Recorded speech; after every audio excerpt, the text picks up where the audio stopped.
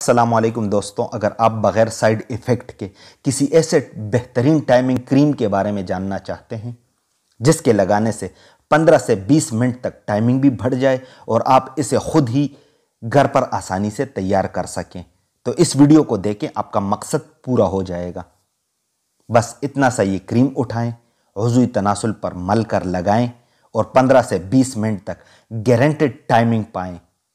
और इसके अलावा वो नौजवान और मर्द जिनका उजवी तनासुल मुश्तजनी और गलतकारियों की वजह से सुकड़ कर पतला और छोटा हो चुका है, वो सिर्फ़ पाँच रातें इस क्रीम को लगाएँ। छठे दिन उजू में मोटाई और लंबाई आपको खुद ही नज़र आएगी। दोस्तों, आज जो ये क्रीम का नुस्खा आपको सिखाने वाला हूँ, ये नुस्खा बहुत ही आसानी से तैयार होने वाला घरेलू नुस्खा है। जिस भी बंदे ने इसे बनाकर इस्तेमाल किया है वो फिर कभी भी वज़ुई तनासुल के किसी मसले से परेशान नहीं हुआ। और न ही उसके वज़ुई तनासुल में कभी ढीलापन टेढ़ापन और लंबाई और मोटाई का कोई इशू बाकी रहा। दोस्तों, अब आपको इस हर्बल क्रीम बनाने का तरीका सिखाता हूँ। गौर से और तवज्जो से देखें, क्योंकि अगर आप पूरे तवज्जो से इसके बनाने का तरीका नहीं सीखेंगे तो फिर ये नुस्खा आपको वो मतलूबा नतज नहीं देगा जो आप इससे हासिल करना चाहते हैं। ये देखें, इस नुस्खे की तैयारी के लिए हमें सिर्फ़ और सिर्फ़ दो चीज़ें चाहिए, बादाम और लौंग। इन दोनों चीज़ों के बारे में आप खूब अच्छी तरह जानते हैं कि बादाम और लौंग मर्दाना ताकत को बढ़ाने के लिए बहुत ज़रूरी अज्जा हैं। ये देखें, मैंने एक चट्टू लिया है। दोस्तों, यहाँ पर आपको एक मिनट के लिए रोकना चाहता हूँ। एक ज़रूरी बात आपको बताना है। चूँकि सर्दियों का मौसम शुरू हो चुका है। अगर आप अपने या अपने वालदेन, बच्चों और दूसरे दोस्त अहबाब के सेहत को बेहतर बनाने के लिए खालिस असली सलाजीत की तलाश में हैं और आप किसी काबिल एतबार और क्वालिफाइड हकीम से सलाजीत ख़रीदना चाहते हैं ताकि आपको असल चीज़ मिल सके। तो इस मसले का हल मैं आपको बता देता हूँ। मैं आपको खालिस असली सलाजीत सेल करूँगा। आप मुझसे खालिस असली आफ्ताबी सलाजीत मंगवा सकते हैं।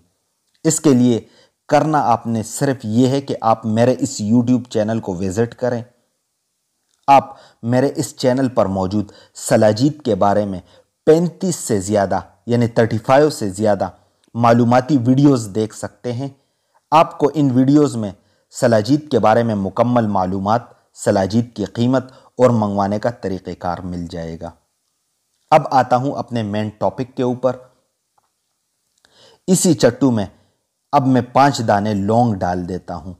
लौंग के अंदर जो ऑयल है, ये उज़वी तनासुल के पट्ठों को ताकत और उज़वी तनासुल के कमज़ोर रगों को ताकतवर बनाता है, जिससे नफ्स में खून की रवानी बेहतर हो जाती है।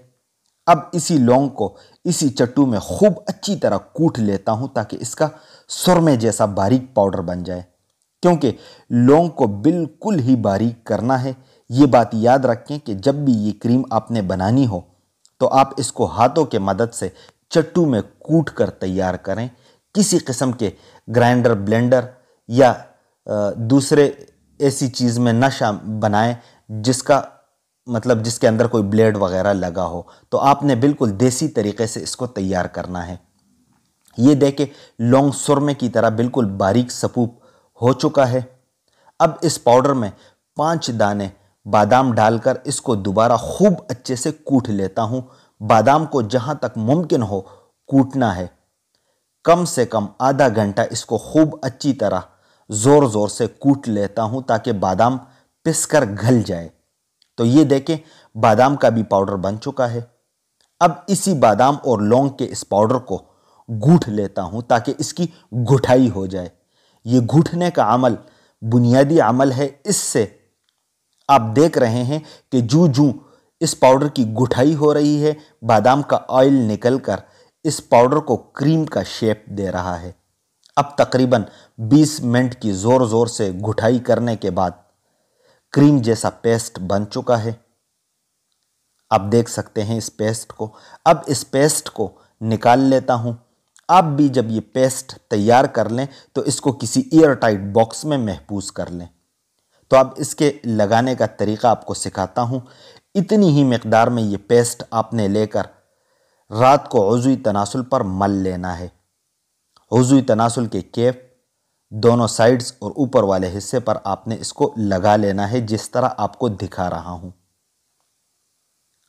जैसा कि आप देख रहे हैं, ये बात गौर से नोट कर ले और समझ ले कि इसको सिर्फ़ लगाना है, रगड़ना या मालिश करना नहीं है।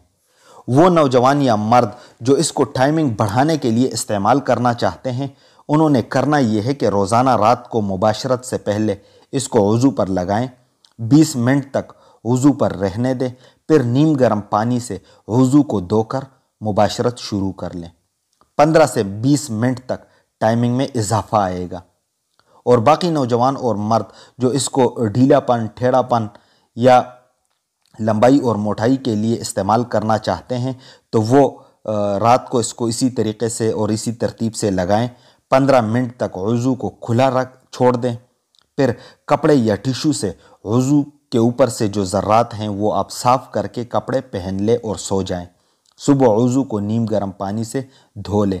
पाँच दिन में नफ्स के लंबाई, मोटाई और सख्ती में इजाफा होगा। तो दोस्तों, ये था टाइमिंग क्रीम बनाने के हवाले से आज का मेरा मालूमती वीडियो। आपको ये वीडियो और मालूम कैसे लगी कमेंट्स के अंदर मुझे ज़रूर बताएँ। तो मिलते हैं अगली वीडियो में एक नए टॉपिक के साथ। मुझे दीजिएगा इजाज़त। अल्लाह हाफिज़।